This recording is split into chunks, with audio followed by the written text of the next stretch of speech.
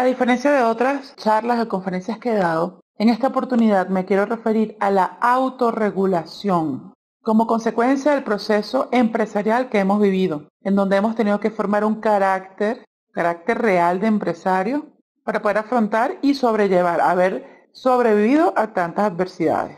Porque no solamente vivimos una pandemia que afecta al planeta, sino que aunado a eso ya nosotros veníamos con un país en crisis. Entonces nosotros venimos soportando y levantándonos de un exceso de regulación, de unas sanciones draconianas, venimos levantándonos de una persecución por parte de, los órganos regulatorios, venimos realmente de, una inseguridad jurídica fuerte. Y aún así tenemos a los sobrevivientes, que por eso es que es el primer punto que yo llamo, a muchos fueron los, llamados, pero pocos los elegidos, en donde vamos a hacer una reflexión sobre el proceso empresarial que hemos vivido antes de la pandemia, en la pandemia y donde estamos ahora parados. Eso para que no se nos olvide cuál ha sido nuestro proceso y cómo nos hemos fortalecido.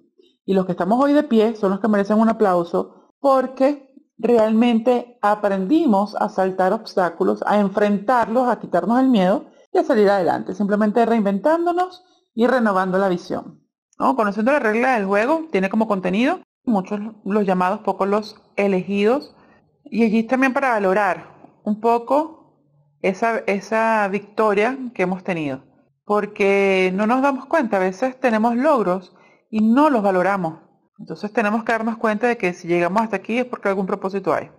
Muy bien, obligaciones de los proveedores versus los derechos de los clientes. Aquí es como el juego, ¿no?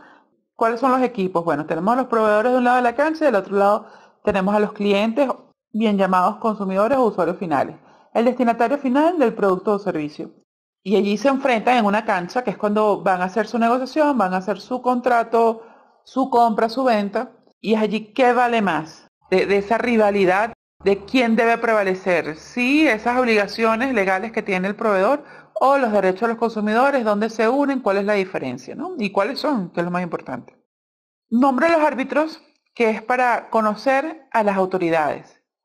Muchas veces iniciamos un negocio o, lo reinventamos y ni siquiera sabemos cuáles son las, leyes, los órganos que regulan esa actividad económica a quienes nos debemos enfrentar, eh, a quienes debemos pedir autorización para funcionar. Y aquí, bueno, vamos a conocer también la parte de hasta dónde podemos llegar nosotros con un reclamo a la hora de sentirnos vulnerados. Luego hablo de las sanciones, cuáles son los delitos y cuáles son los ilícitos administrativos y cuáles son las diferencias.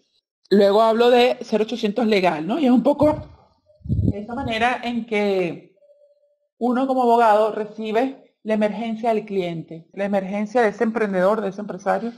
Cuando te llaman te dicen, aló, abogado. Y ese aló, abogado, por lo general lleva tres cosas, ¿no? Que es antes, durante o después de la fiscalización. Es decir, cuando pueden ser atendidos con tiempo, cuando están en emergencia o cuando ya están muertos. Ahora bien, luego vamos con la parte de verificación de cumplimiento y cuáles son las recomendaciones que podemos dar para evitar ser sancionados, para evitar ser imputados de responsabilidad penal empresarial.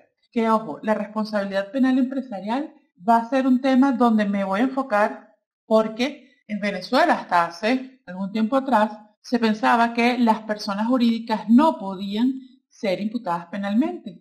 Hoy en día, con una cantidad de normas que, que las diré en su oportunidad, sí, sí se genera responsabilidad penal empresarial y tenemos la corresponsabilidad de parte de los socios, de los directores y administradores de la empresa y de los trabajadores. Es decir, que es importante que a los trabajadores les demos información para que ellos también asuman y dijeran que son corresponsables por las actuaciones que ellos realizan. Entonces, no pueden estar tan simplemente relajados, lavándose las manos y diciendo, bueno, si sancionan a la empresa, pues eso no me afecta. Sí, sí te afecta, no solamente porque a la empresa haber sancionada, pues limita su crecimiento, sino que personalmente cada uno de esos trabajadores que estén involucrados son corresponsables.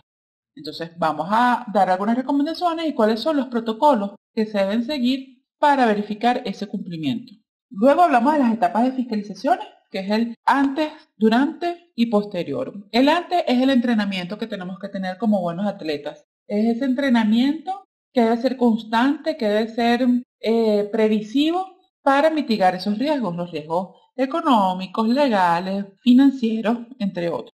El durante hablamos de ya ir al juego, ir a la cancha, comenzó el partido, pero realmente no es un juego, no lo podemos tomar como algo divertido, es algo sumamente serio y que de allí depende el destino de la empresa, el destino de los trabajadores y la integridad física incluso de los accionistas y miembros de la junta directiva.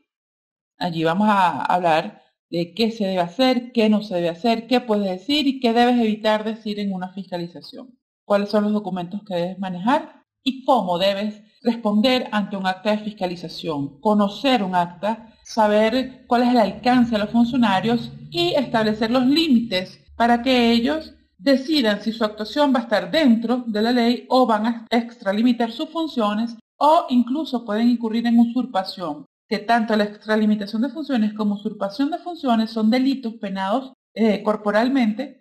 El posterior, bueno, es esa gloria o victoria, cómo salimos, salimos aprobados, reprobados y qué hacemos con ese resultado.